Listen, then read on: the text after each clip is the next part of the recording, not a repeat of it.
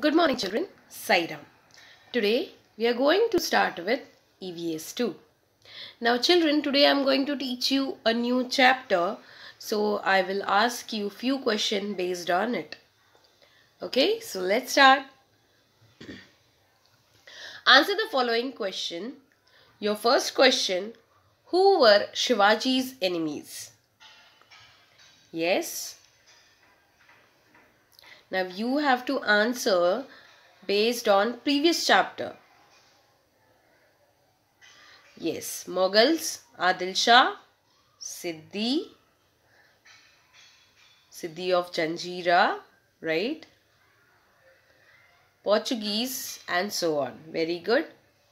Now question number two. When did Shivaji's coronation ceremony take place? Yes, Shivaji's coronation ceremony took place in 1674. Third one. Why did Shivaji decide to lead a campaign of the south? Yes. Now Shivaji decided to lead a campaign of the south because the main threat was from Mughals. So today we are going to learn why Shivaji planned a campaign of the south. In chapter number 6 campaign in the south. Now children this is part 1 and we are going to start this part with new words. First one protector. Protector. Now what do you mean by protector? Defender. Exploits.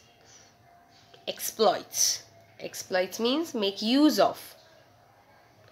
Miraculous. Miraculous. Miraculous means magical. Discomfiture. Discomfiture.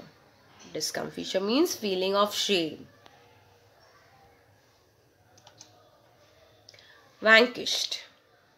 Vanquished means to conquer. Naval naval means navy or related warships. Toiled. Toil means work worked hard for long time. Persuade. Persuade. Persuade means motivated. Reluctantly. Reluctantly. Reluctantly means unwillingly. Besieged. Besieged means captured. Now children, uh, you have learned something in previous chapter. Now what you have learned? Yes, Shivaji was crowned as a king. Now he did not do this for his personal glory.